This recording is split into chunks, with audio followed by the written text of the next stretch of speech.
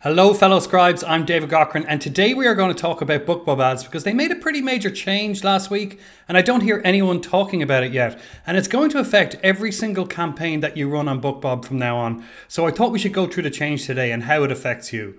This won't be a primer on BookBub ads. I have a whole other video, which is basically a walkthrough, uh, a tutorial on the entire interface, and lots of advice on creating your first test campaigns. And I'll put a link to that down in the description, along with a bunch more resources on BookBub ads, including a whole book I wrote on the topic if you want to get that deep into it. And that was given a quick update too, so you know it's bang up to date, except for what I'm going to share today, because that's hot off the presses.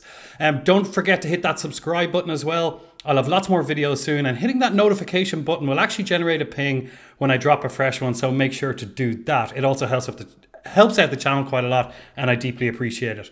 Okay. So in this video today, I'm going to explain the change that was made, talk you through how this affects your ads and how readers will view them, and then try to look ahead and see how it'll impact different types of campaigns on BookBub. Just keep in mind this change is brand new, so we don't have lots of solid data on how this will play out yet basically we're all going to be guinea pigs together on this one but i want to give you some advice based on my experience with the platform and um, how i think it will play out because um, i think even bookbub themselves don't know yet quite how this will play out because it's so new okay so the change specifically is this BookBub has removed its frequency cap and has replaced it with a recency cap. Now, what does any of that mean? And is it really that important? Well, yes, it's actually a huge change that affects everyone as you will see in a moment when I break down what all that jargon means. Okay, so now this is going to get a little bit technical, but don't worry, I will explain it all in everyday terms um, because it's a pretty important to understand the change that has been made and how it impacts you because it is going to impact you if you run any ads on BookBub, which you really should do because it's a huge and passionate community of over 10 million readers and I get wonderful re results from advertising there. Okay, so up until now, BookBub ads had a frequency cap of four, which means that your ad campaigns were shown to readers up to a maximum of four times. Now, at that point then the system would stop showing your ad to that particular reader uh, unless you actually you know copied that campaign and restarted the campaign again. But that was the cap. It was a hard cap of four except when sometimes bookbub were testing the thresholds and, and testing out five but I'll, I'll get to that in a moment. Um, now four times showing a reader an ad four times you might be thinking that sounds like a lot of times to show the same ad to the same person. But keep in mind that bookbub ads is very different to facebook ads or amazon ads or any other platform out there. For for example, when I'm running my Facebook ad campaigns, I tend to stop them when they hit or even approach a frequency of around two because I figure if you know a reader doesn't want my book, which is probably free or 99 cent or 2.99, especially if I'm advertising it on Facebook, um, I probably have some kind of deal running. So if they've seen that deal and they've passed up on it a couple of times, I don't think a third showing is really going to convince them. You know, this isn't a couch or a motorbike or a vacation. It, it, it doesn't take that much reflection or consideration to spend 99 cent or, or just to click a, a free download. So I personally feel that all other things being equal, if readers aren't biting at 99 cent, then that reader probably isn't for you.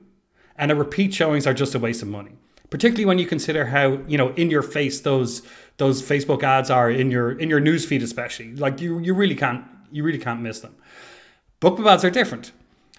They are predominantly delivered by email, and the ad slot itself is at the very bottom of that email. I don't know if you're a subscriber to BookBub as a reader, and if you're not, I recommend doing that just to see how the deals operate, and also because the deals are really good, right? So when you get your featured deals email every day, the ads there's only one ad slot in that email, and it's right at the bottom of the email after all the other deals. So there's lots of opportunities, if you like, for a reader to get distracted by, you know, they see a Stephen King deal or, or some other author that they like, they click on the deal, they go to Amazon or Apple or wherever they buy books, and they probably will forget to come back to their email and probably will not scroll down and see your ad. So I usually tolerate a lot more, a lot higher of a frequency cap cap on BookBub than I would on Facebook. Okay, so I'm more than comfortable with the, the old system where they would show my ad four times to a reader because I know that the reader probably hasn't physically seen that ad four times. It's it's highly unlikely. They might have only seen it once or twice, or maybe even not at all. So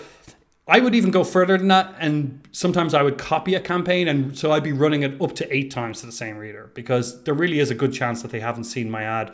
And I would generally find the performance was quite good. So when BookBub was testing a cap of five, um, like showing the same ad to the same reader five times, Um, I was more than comfortable with that because I would often force it, the system to show the ad more than that. Okay, so my problem wasn't with the frequency cap with, at, at BookBub. I was fine with showing my ad four times or even more times to a reader. My problem with BookBub ads was something else. It was the lack of a recency cap, which is what they've just brought in now. So that's why I'm very interested in this change. So what is a recency cap? Okay, so a recency cap is the amount of time the system waits before showing the ad to the same person again. Uh, which is a good thing. You definitely want some form of recency cap in your ad platform, which is why um, I was disappointed that BookBub didn't have one up to now, and why I'm really happy that they have instituted one now. So, um, you know, I told you that I'm fine with showing to an ad a reader, uh, an ad to a reader a couple of times, but I don't want that second impression to happen right away after the first impression. I find that's less effective, and you can just see yourself that it's less effective. You know, sometimes you do need to see a deal a couple of times um, for for you to act on it but it's much more effective if, the, if there's a gap between those two impressions, right? So, you know, you don't just see the ad and then scroll down and see the ad again. That's not super effective.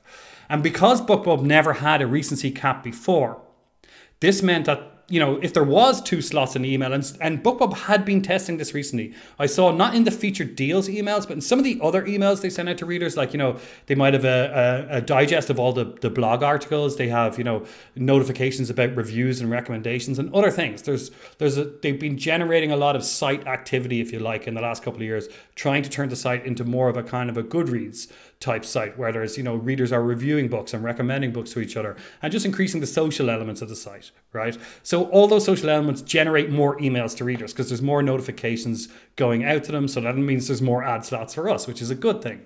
But when there's two ad slots in the email like they were testing recently i was noticing the same ad repeating twice which is not good for readers not good for advertisers and probably not good for BookBub either and the same phenomenon had been playing out for quite some time on the website. Now, there are ads on the website. They're not the kind of centerpiece of the action. They're still the the ads and emails are you know what are most effective and driving the most action on BookBub.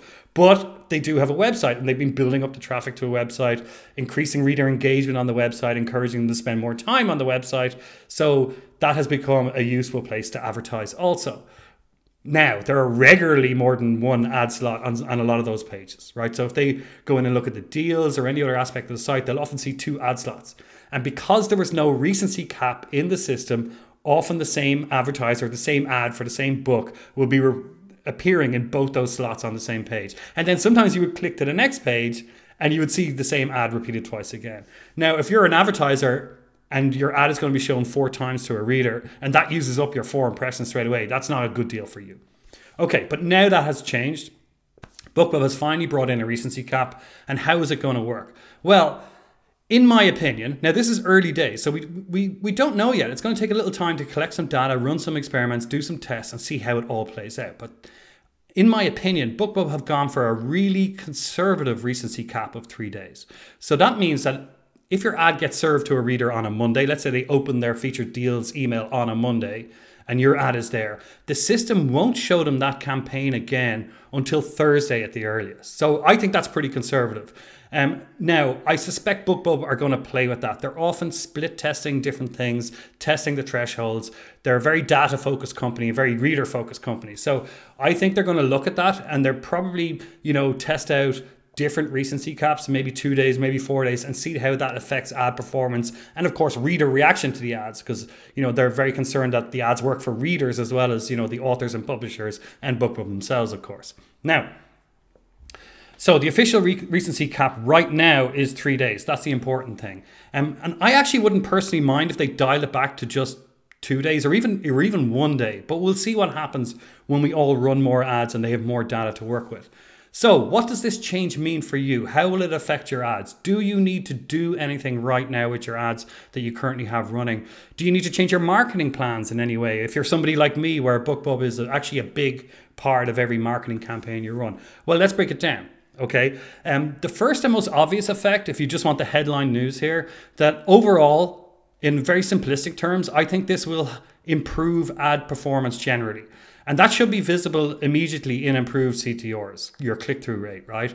And, you know, improving your click through rate will help to drive down your click costs and generally improve your ROI, your return on investment. So, all that is great. Um, the system will be showing your ads to more fresh people rather than more repeat views to the same people. So you will have less wasted impressions and you'll get more bang for your buck overall. And I think especially those running lower budget campaigns will no, will will immediately notice that more than those running higher budget campaigns. So I'm definitely a fan of this change. I just want to point that out before things get complicated here. Because any big change like this is bound to have lots of side effects, which we will have to account for in our marketing campaigns. So as I said in my guidebook on this topic, which is called BookBub Ads Expert, there are basically two ways you can use BookBub ads fast or slow. I know some pretty revolutionary thinking there, but seriously, authors tend to be either run, either using long running campaigns at a lower spend to permanently push a book, usually like a, a perma free or cheap book one in a series, with the aim of funneling new readers into the series constantly. So this is a preferred tactic of wide authors who are those who are available on all retailers rather than exclusive to Amazon. So wide authors tend to use this tactic a lot because they often have a perma free or cheap book one and because that's a tactic one of the few tactics that has always worked really well on all retailers retailers outside of amazon where it's often more challenging to sell books but kindle unlimited authors can use bookbub ads in that way too and they do that regularly especially if they have you know a permanently cheap book one which many of them do okay but that's not the only way to use BookBub ads, and not, and not even my favorite way to use BookBub ads. Many authors will use BookBub as an accelerant, right? When they really want to turn up the juice on limited time campaigns. For example, if they're running a 99 cent sale, if they're doing a temporary free run, if they're launching a new book, anytime you have a shortened window on a price promotion, or anytime you're releasing something new, you might be looking to maximize sales in a short period of time, right? So this approach tends to be more favored by Amazon exclusive authors, although not just by them. For example, all of my historical fiction and all of my non-fiction is wide. It's not in Kindle Unlimited, it's not exclusive to Amazon. Yet this is still my preferred way to use BookBub ads. And what I personally think the platform is uniquely good at. Because no other platform is quite as good at getting lots and lots of discounted books into readers' hands in a short time frame. It's the founding idea of BookBub, if you like. So it's no surprise the ad platform also reflects that and is great at that too. Okay, so this change. If you're if you're using the platform for that kind of always on advertising that I talked about that wide authors tend to prefer, if you're using it slow, right? And um, maybe to push that perma free book or a cheap book one, then this change is a massive boon for you. And I think we can say that in pretty much an unqualified way. No longer will you have to restart long running successful campaigns because they run out of run out of opportunities to show that to the same reader. Successful campaigns that you have running constantly will no longer hit a wall and run out of juice. They will just keep showing them to readers albeit with that gap of three days between impressions. So you can basically keep those campaigns running forever. You don't have to worry about the ads over serving to readers. Um, it will only show them the ads once every three days at most. Right. So this should improve your performance pretty noticeably and reduce your busy work in pretty obvious ways too. Now, we don't have any hard data yet. So this is all guesswork, but that's how I see it playing out for those type of campaigns, for those types of authors, for people who use BookBub ads in that manner. Now, I think BookBub will be monitoring the results closely themselves. They're pretty good at that. They're good at testing different thresholds. They're good at crunching the data. And they're good at listening to authors as well. No other ad platform out there, I think, in my opinion anyway, has such an open communication channel. They're a regular presence at conference back when we used to have conferences. Um, and so don't be afraid about giving them any feedback about this or any aspect of the platform. I find them pretty pretty open to, to receiving feedback. Okay. So what if you're that other kind of author, someone who uses the platform more like me, you know, to really boost a 99 cent sale in a five or seven day window, or to really boost a launch or, or a free run or something like that. Um, is it as positive a change? Well, I think the jury is out there. Um, I think, you know, this changes things quite a lot for people who use the platform fast, like me. Um, and no, maybe not all of it is positive. We're going to have to see how it plays out. I think fast authors um, will also benefit from the improved general performance I talked about, right? I think that's just going to help everybody um, because those repeat servings will be reduced um, dramatically where, you know, someone is seeing the ad twice in one email or twice on the site or whatever. Um, but I don't think this is going to be so positive for those who are running large scale campaigns because I think that recency cap is a little bit too conservative, as I said. I think, again, let me stress, we don't have the data yet. This is me seeing, trying to think how it's all going to play out. But for example, if I just have a five day window to push a deal, that's only going to give me at maximum two servings to the same reader. Um, which sounds like a lot, but it, it really isn't if you consider that a lot of the readers won't scroll down and see the actual ad. I was more than comfortable with the old system where I was showing a reader the same ad four times, even in, over the, a shortened time span of a few days. And now under the new system, it's only going to show my ad to these readers twice tops in the space of in the space of five days.